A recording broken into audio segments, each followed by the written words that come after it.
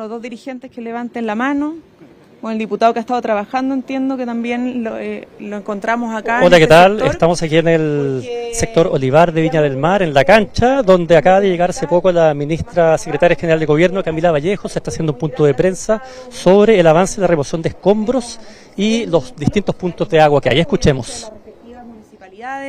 Están las organizaciones sociales, los privados, la autogestión está todo funcionando en distintos territorios eh, y no siempre eh, es posible eh, atender a los requerimientos de la prensa, pero queríamos comentarles y mostrarles que hoy día estamos acá y como lo decíamos en la mañana, para supervigilar cierto el trabajo de la maquinaria pesada que tiene la tarea de remover escombros. Esto es un trabajo diario. En el sector eh, decían eh, en Independencia, en Villa Independencia, por ejemplo, en un momento no se podía subir con camiones porque el cerro estaba atochado. Eso ya desde ayer más o menos se empezó a despejar y está operativo. Pero hay distintos sectores que requieren sacar escombros de manera permanente porque los vecinos van limpiando y se va acumulando escombro dos, tres, cuatro veces en el día.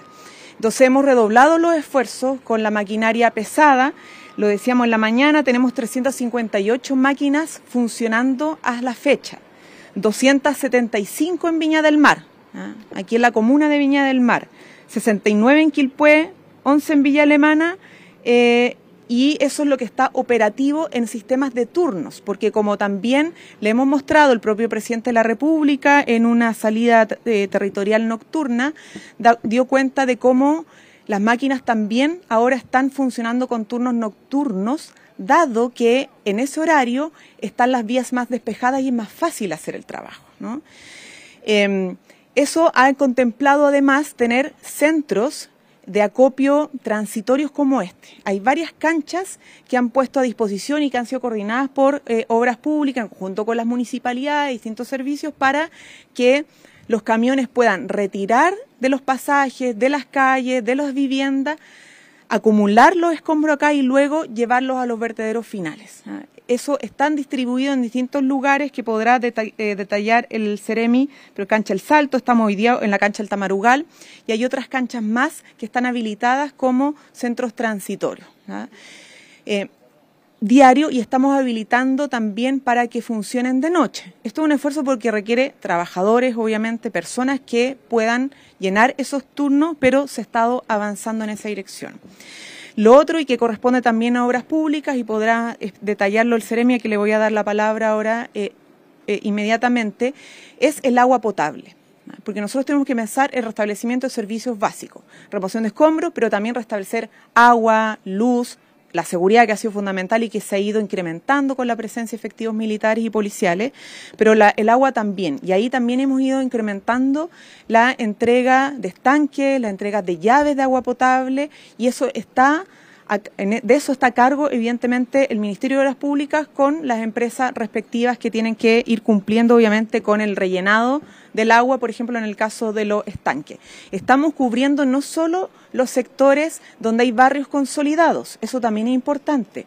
Aquí, independientemente si un barrio consolidado, una toma de terreno, un campamento, la verdad es que son personas que se vieron afectadas y hay que llegar con servicio y ayuda humanitaria a todas las personas porque son seres humanos. Estamos en una emergencia y nuestra tarea entonces ha sido llegar con distintas fórmulas a los distintos sectores. ¿ah? Lo mismo con la electricidad que hemos eh, tenido ahí las torretas para poder llegar incluso a los campamentos con iluminación. Ahora, esto es progresivo, vamos a ir reportando. Ustedes saben que a cargo del COGRI está el GEDENA, el jefe de defensa nacional, el responsable de eh, que esto todo funcione. Hay distintos equipos, distintas fuerzas de tarea, donde están nuestros CEREMI, nuestra delegada regional, y todo se está coordinando eh, y desplegando y monitoreando día a día para que podamos ir avanzando cada vez más en el restablecimiento de servicios básicos y en la entrega de ayuda de distinto tipo a las distintas localidades. Mañana más el COGRI va a ser temprano, vamos a tener un nuevo reporte, esperamos alrededor del mediodía porque funciona desde las 9 de la mañana. Eh, y va a estar a cargo obviamente del jefe de defensa nacional, de las autoridades correspondientes, pero hasta la fecha, como les decía, la maquinaria está funcionando y esperamos que se siga redoblando los esfuerzos, no esperamos, estamos trabajando más bien para que eh, los esfuerzos se sigan redoblando en entendido de que eh, Teníamos una estimación de dos meses para el retiro de escombros eh, sin contar con las solicitudes de remoción posteriores que vengan para el proceso de reconstrucción. Y lo hablamos con el CEREMI, se está haciendo todo el esfuerzo para que esto pueda ser antes, pueda ser antes el despeje eh, total de los escombros, antes del inicio de otro tipo de obras e intervenciones en los territorios. CEREMI. Muchas gracias. Muchas gracias, ministra. Sí, efectivamente, como aquí bien lo decía la ministra, hoy día va variando, pero hoy día estamos con del orden de 350 máquinas entre camiones, eh, cargadores, mini cargadores como los que están acá, para adaptarnos además a los distintos territorios.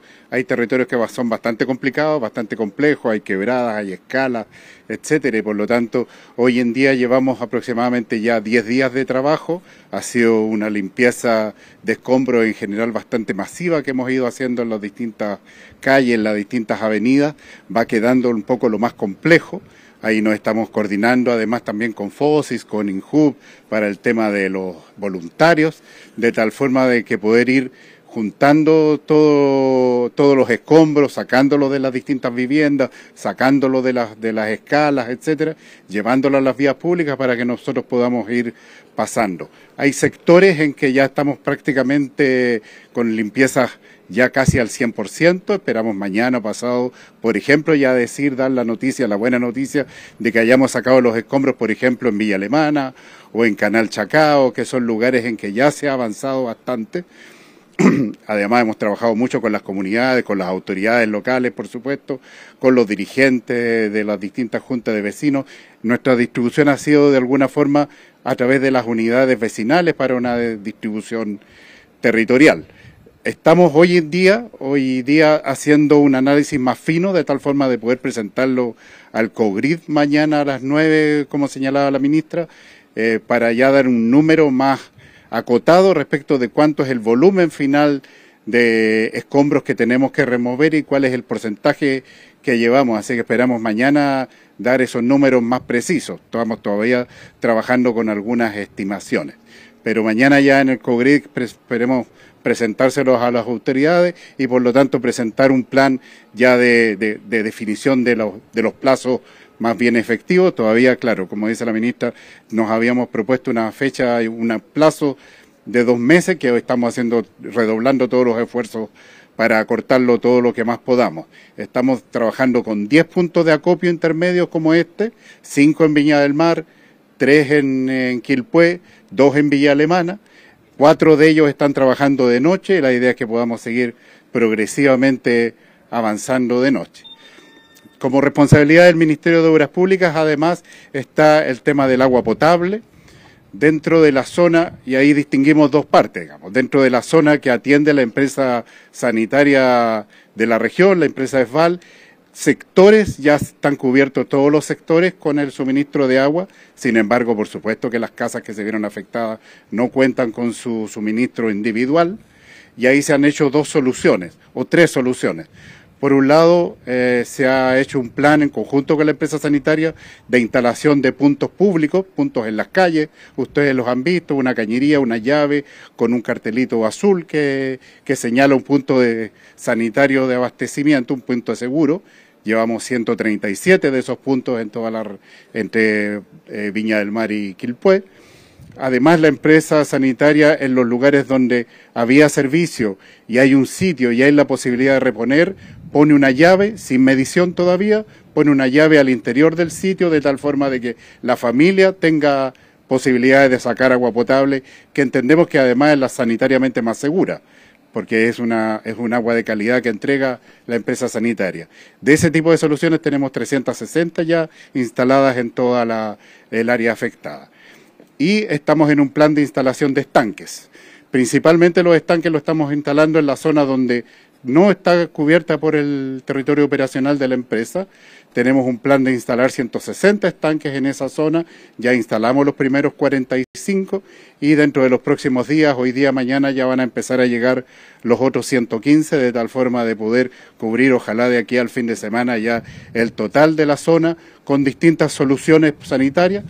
Y el, concepto que nos hemos planteado y lo hemos hecho así en conjunto con la empresa sanitaria es que ningún vecino pueda, necesite caminar más de una cuadra, más de 100 metros para encontrar un punto de abastecimiento seguro de agua. Así que eso es parte de una amplia red de trabajo que estamos haciendo en conjunto los distintos servicios del gobierno. Muchas gracias.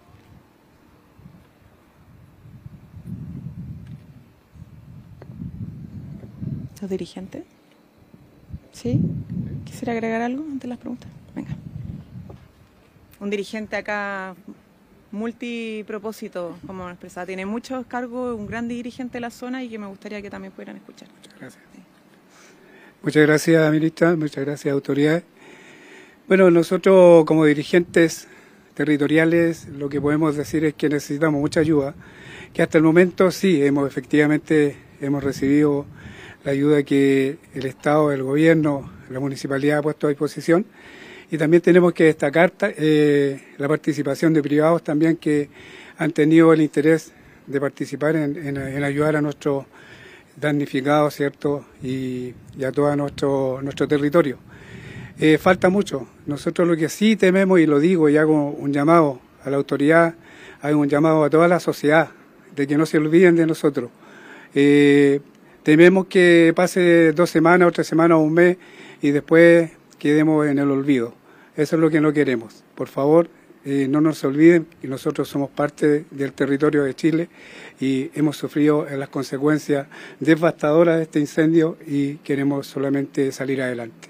Gracias. Yo me llamo Nindro Sandoval, soy presidente de la Junta de Vecinos Roger, vicepresidente de la Unión Comunal eh, de Santa Julia y bueno, y otros cargos más. Muchas gracias. ¿Preguntas?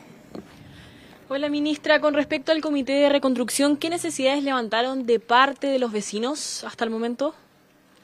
Bueno, acaba de sesionar, eh, liderado por la ministra Javiera Toro, ministra de Desarrollo Social, el Comité eh, para la Reconstrucción. Ustedes saben que Chile no cuenta actualmente con una institucionalidad para la reconstrucción, sin embargo, el presidente Boric pidió que la ley de presupuesto se definiera por ley responsables de este equipo. Y esto lo lidera la ministra eh, Toro y tuvo la primera sesión el día de hoy, va a estar sesionando periódicamente, es lo que se ha comunicado en punto prensa hace algunos minutos atrás.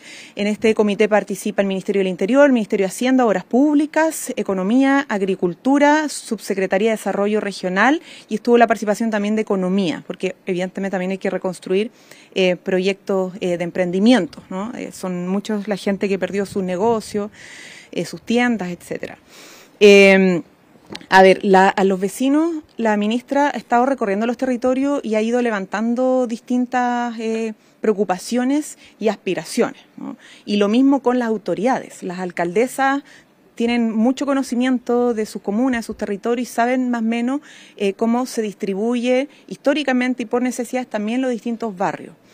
Em, y además con el gobierno regional. Entonces ha habido un diálogo previo ya y de escucha con varios dirigentes, con varios vecinos y con pero se va a seguir involucrando en esto a la comunidad, evidentemente. Eh, la reconstrucción no es una tarea fácil, eh, pero la vamos a sacar adelante. Y eso es importante transmitirle a la gente. Tenemos ya una fecha que ha comunicado la propia ministra Toro, eh, que está liderando esto, que tiene que ver con el 21 de febrero, donde se va a presentar ya todos los compromisos y las tareas de cada sector para el plan de reconstrucción. Se va a eh, levantar, obviamente, consulta de aquello a las autoridades locales, que además tienen un trabajo súper eh, estrecho eh, con varios dirigentes y dirigentes sociales y ahí vamos a recoger varias opiniones. Eh, de hecho, ayer teníamos la opinión de la gente del Salto, que está en un territorio F, pero lleva 80 años ahí. En fin, hay distintas realidades. Eh, y luego se le va a presentar la propuesta final al presidente de la República. El 21 de febrero es fecha máxima, así lo ha señalado la ministra Toro. A más tardar el 21 de febrero para las propuestas sectoriales cosa de acelerar al máximo estos procesos. Estamos hablando de que a 10 días ya inicia el comité de reconstrucción después del inicio de los incendios y por lo tanto estamos acelerando todo porque sabemos que la dimensión de esta catástrofe es tal que mientras antes partamos, mejor. Hola ministra, ¿qué tal? ¿Cómo está? Eh, la CONAF presentó un plan de emergencia del 2021 y este plan habría sido solamente tomado parcialmente por diversas entidades. ¿Qué opinan ustedes sobre esa situación?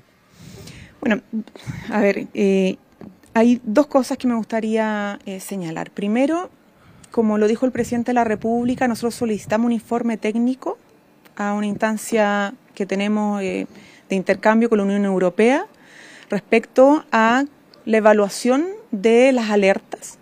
Y eso es un informe técnico que esperamos que nos puedan entregar, eh, bueno, dar un inicio y entregar para tener claro qué faltó, qué falta de nuestra institucionalidad respecto al sistema de alerta.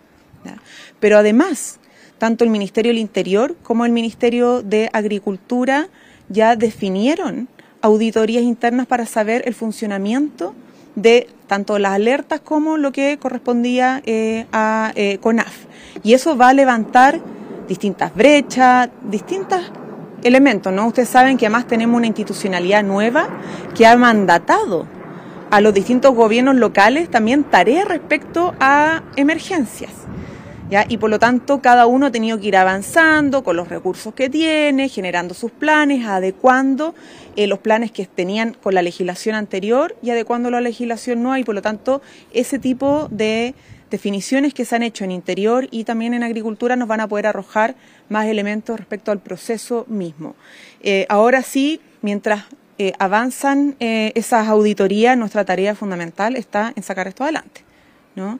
Está también la tarea de la justicia. Ustedes saben que en paralelo la justicia tiene que esclarecer eh, el origen de los focos de incendio. Nosotros tenemos hipótesis respecto a eso, respecto a suponer, ¿no? Eh, o sea, nuestra hipótesis más bien se funda en el supuesto de que hay varios elementos que indican posible intencionalidad en el inicio de los incendios, pero la justicia va a tener que determinarlo. Eh, y también estas auditorías, como les decía, respecto a cómo se dio el sistema de alertas y de aviso para que obviamente haya una transparencia respecto a aquello, y no quede duda. Mientras tanto, seguimos en esta tarea de levantar barrios, levantar comunidades en todos los territorios siniestrados. Ministra, muy buenas tardes. Son dos preguntas. La primera tiene que ver con la ficha FIDE. Hemos recibido varias denuncias por parte de vecinos de personas que están suplantando su identidad a la hora de contestar esa ficha. ¿Cómo se va a asegurar que las personas correctas estén recibiendo esa ayuda? Y por otra parte, quiero preguntarle sobre la cifra de desaparecidos, si la puede actualizar. Muchas gracias. Eh, sí, miren, nosotros ya detectamos eso hace un rato eh, y por lo tanto está totalmente subsanado aquello. Vamos a reiterar algo que hemos dicho, que es súper importante porque también fue la comunicación que hicimos en las emergencias pasadas. Las fichas FIDE solo se levantan de manera presencial y son por parte de funcionarios y funcionarias públicas, que son tanto del nivel municipal que han estado desplegándose en todo el territorio, como también otros que han ido aportando otros servicios. Desde nuestro ministerio, por ejemplo, también hubo funcionarios y funcionarias de la visión de organizaciones sociales y de otras áreas que se pusieron a disposición después de una capacitación, porque la ficha FIBE no es que la pueda hacer cualquiera, hay que capacitarse para que el llenado de datos sea riguroso y sea responsable. Eh, y además para hacerlo bien ágil. Entonces, eso eh, no debiese suceder porque todas las fichas que se envían al sistema central de digitalización son por parte de funcionarios y funcionarias públicas. Entonces no hay posibilidad de que haya eh, un fraude al sistema. Hay gente siempre malintencionada, gente que se aprovecha en los peores momentos de otras personas para intentar engañar y sacar algún tipo de beneficio. Pero eso lo tenemos detectado, lo tenemos resguardado para tranquilidad de la gente. Y hemos hecho eh, más de 1.900 transferencias en bono. Mañana se va a realizar la segunda transferencia de bono de recuperación y el viernes la tercera transferencia de bono de recuperación. Según lo que ha dicho el Ministerio de Desarrollo Social, se espera lograr transferir el 90% esta semana. Se están haciendo todos los esfuerzos, ¿no? Eh, porque de verdad que aquí hay un esfuerzo humano gigantesco. Sabemos que no es suficiente por la magnitud y eso ha implicado que mucha gente recurra a la autogestión, que haya mucha ayuda de privado, pero el esfuerzo humano de nuestros funcionarios públicos ha sido darlo todo para poder tener la información a tiempo, antes incluso que en otras ocasiones, cosa de que las ayudas empiecen lo antes posible y así al menos con el bono de recuperación eh, ya empezó en materia de ayudas económicas, ¿no? porque como lo decía el Ceremimop, la maquinaria ha estado ya trabajando hace 10 días en el retiro de escombros. Sobre la cifra de desaparecidos, ah, perdón. Sí, a ver, vamos a ser especialmente rigurosos con esto porque ustedes saben que El reporte es de horas, ¿no? Sí, no, esos son los fallecidos. Tengo el último reporte además desde Justicia y del Servicio Médico Legal. A ver, voy a listar. Del Servicio Médico Legal el informe a las 6 de la tarde, o sea, una hora atrás, es que eh, tenemos un número de fallecidos, en primer lugar, que se mantiene en 131 personas. Esto no ha variado. Eh, en la jornada de hoy, además, el número de fallecidos identificados aumentó a 87 personas identificadas eh, por los peritajes que se han hecho. Em, claro, de los, gracias al, trabajo perizal de los laboratorios de genética del Servicio Médico Legal de Valparaíso, más Santiago. Eh, y en total se han realizado 61 entregas de fallecidos a sus familias, ya, o sea, confirmados y entregados a las familias, 61. Además, están desplegando el servicio médico legal eh, todos los esfuerzos en las identificaciones eh, para dar pronta respuesta a las familias afectadas, en coordinación con la Subsecretaría de Justicia, la Fiscalía Regional, la Seremía de Justicia y Derecho Humano y Carabineros de Chile y la Policía de Investigaciones, dadas las, obviamente, denuncias de presunta desgracia. ¿Ya? Eh, esto es el reporte que nos da el servicio médico legal ahora a las seis de la tarde y, por lo tanto, a ver, nosotros estamos en un proceso más de remoción de escombro. No ha variado el número porque no se han identificado más eh, cuerpos. Y, yo no me quiero adelantar eh, a más que eso porque la verdad es que el trabajo que se hizo en los primeros días, sábado, eh, perdón, domingo, lunes, martes, con las policías de investigaciones en cubrir todo el territorio, fue muy clarificador de la cantidad de cuerpos encontrados y las áreas donde se encontraron. Podría suceder eventualmente que esa cifra aumente, pero hasta la fecha han pasado más de tres o cuatro días, si no me equivoco, tres días, en que la cifra ha sido la misma porque no ha habido más hallazgo de cuerpo ni denuncias nuevas de presunta desgracia. Hasta la fecha uno esperaría que la gente que tiene una persona desaparecida y que sospecha que su, que su familiar eh, o su conocido fue afectado por los incendios, eh, con afectación de pérdida eh, de vida, debiese haber sido denunciada por presunta desgracia. Entonces, formalmente esto no ha aumentado y por lo tanto a lo que ha sido el trabajo del servicio médico legal en todas estas horas, he ido simplemente a confirmar las identidades de los cuerpos que han hallado para que coincidan con y para verificar que coincidan con las personas denunciadas en presunta desgracia o como desaparecidos. Claro, se ha mantenido el número de personas eh, fallecidas desde el 6 eh, de febrero, ¿no? Son 131 los fallecidos, 87 de ellos han sido ya identificados, 61 de esos cuerpos ya han sido entregados a sus familiares, hay cinco personas que no, han sido reclamadas por nadie también. Es en el punto de prensa que está efectuando aquí la ministra Camila Vallejos, acá en el sector de Olivar, en la cancha de este sector, donde se ha hecho un centro de acopio de los lugares siniestrados, ¿no? Hay cinco puntos de acopio acá en el sector. El, nos contaba la ministra que durante dos meses se van a seguir sacando escombros acá en el lugar. Hay 137 puntos de agua para dar el suministro vital a las distintas personas siniestradas. Eh, y también nos dice que el 21 de febrero se va a presentar el plan de reconstrucción. Vamos a seguir atentos a todo lo que suceda acá en la región de Valparaíso. Volveremos más adelante con más información.